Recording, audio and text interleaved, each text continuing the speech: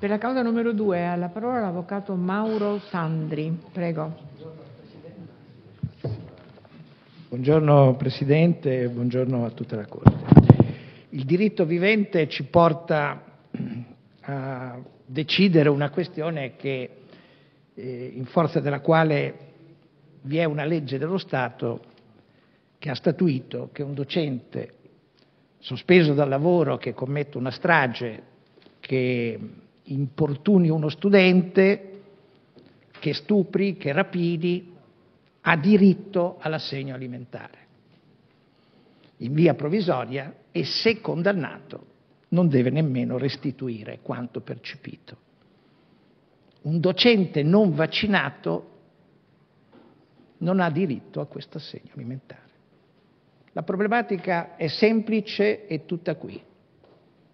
Se sia compatibile questa normativa con l'articolo 2 e con l'articolo 3. Questo è quello che ha richiesto di chiarire a voi la dottoressa Piponzi.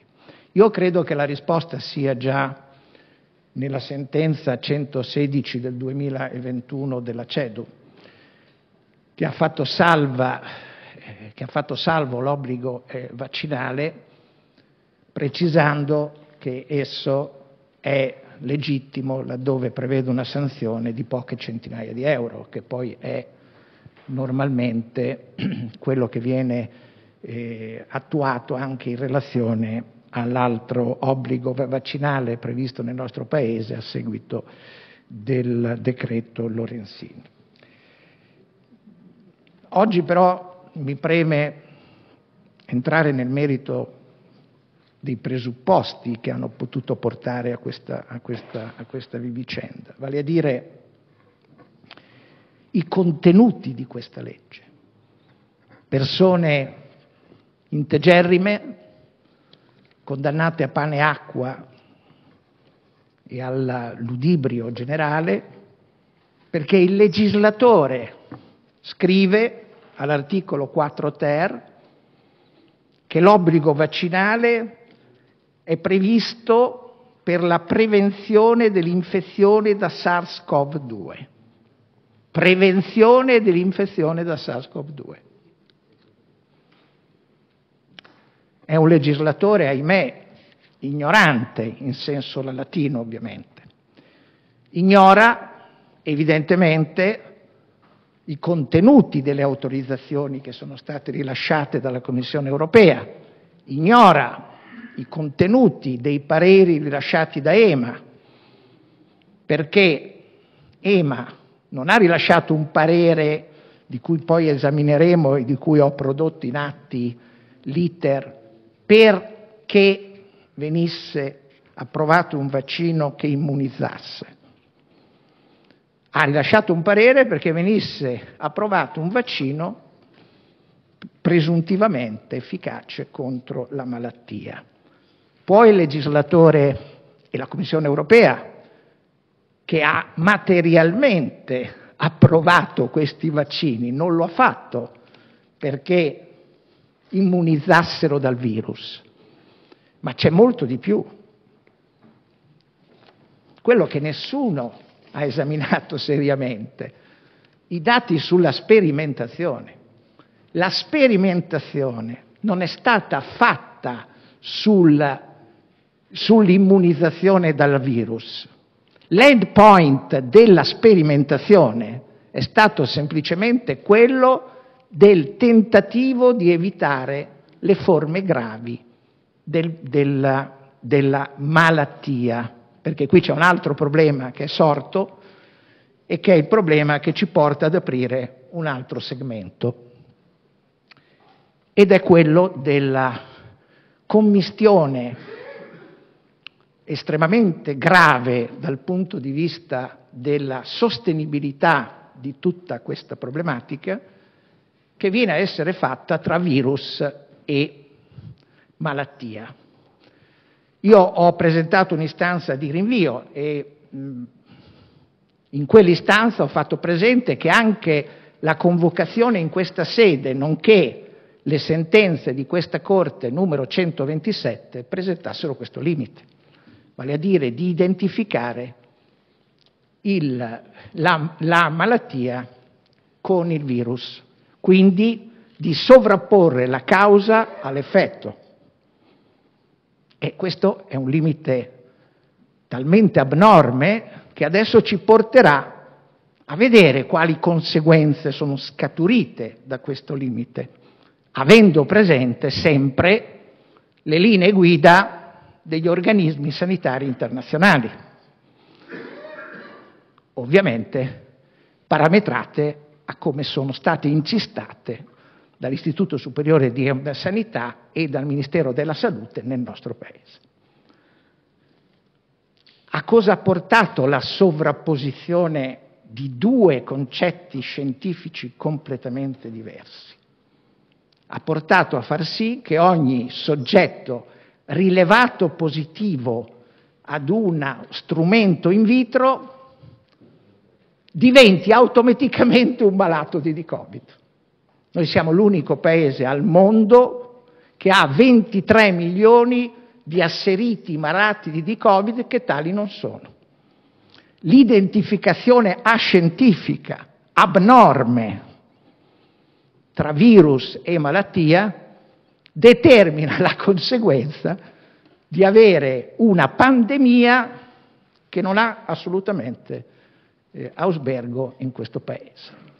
Questo è un profilo essenziale perché se si amplificano in maniera assolutamente fuori da ogni perimetro scientifico i dati della pandemia, è chiaro che si entra in un campo in cui l'errore di fatto diventa, come già successo al legislatore che ha avuto l'ardire di privare dei mezzi di sostentamento il corpo docente di, questo Paese, ha avuto l'ardire di affermare un falso, vale a dire che questo vaccino fosse stato approvato per immunizzare. Questo vaccino non è stato approvato per immunizzare, ma non è stato nemmeno sperimentato per immunizzare. Questo è il punto essenziale.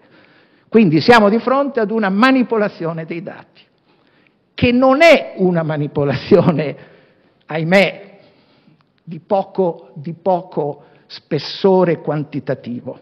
Perché? Perché i positivi, i cosiddetti positivi a rilevamento con PCR o con l'altro strumento in vitro antigenico rappresentano il 98% di questi eh, presunti malati. Se il 98% delle persone viene rilevato positivo ad uno strumento in vitro e non si ammala mai, come si può sostenere che ci sia una pandemia in questo Paese? Perché l'OMS, che è più preciso del legislatore italiano, precisa che pandemia significa diffusione della malattia, non diffusione del virus. Sono due concetti completamente diversi che non stanno insieme uno con l'altro, è come sommare le pere con le mele. E dalla prima elementare ci hanno insegnato che questo non è possibile.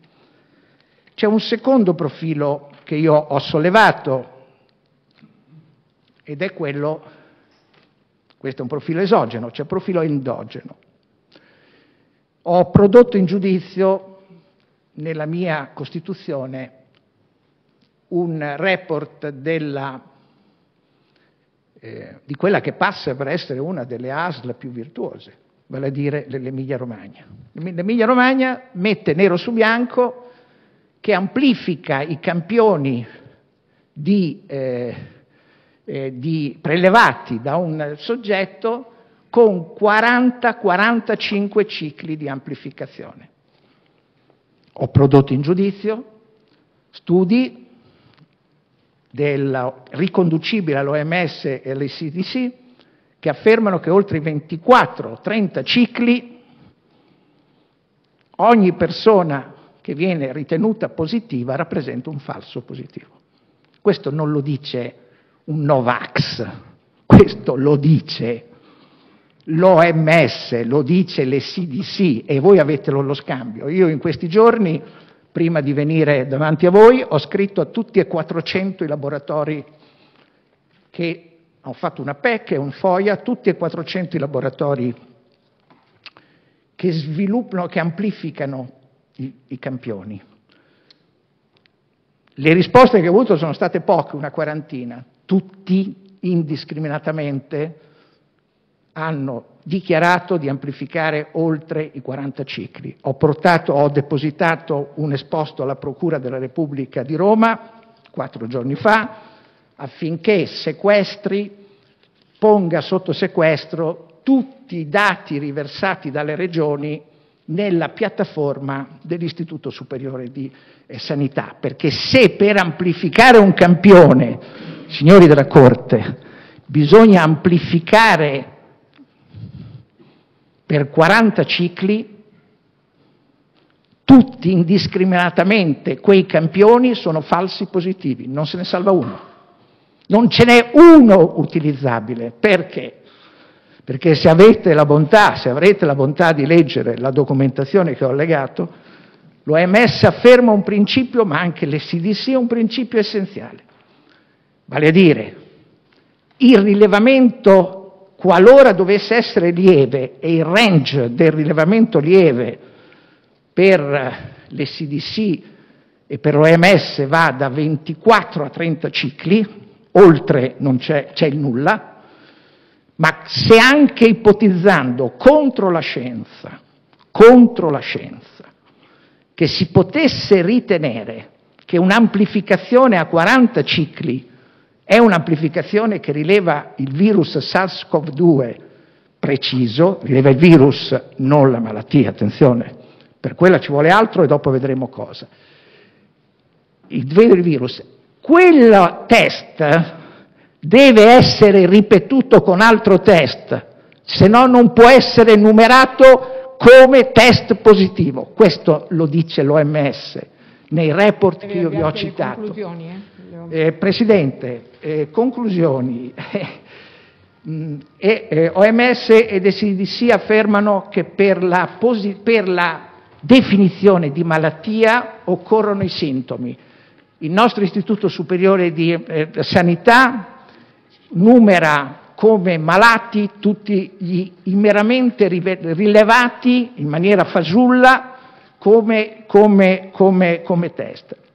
Ho prodotto in giudizio un altro eh, documento dell'SDC recentissimo in cui l'SDC dichiara che i dati italiani sono tutti impresentabili, afferma che sono assolutamente non utilizzabili, che hanno avuto 20.000 campioni tutti sfasati tra loro, tra l'altro, è il report che è allegato nell'istanza di rinvio che ho fatto. Io ho chiesto che questa Corte si munisca di un esperto, perché non si può decidere su dati falsi.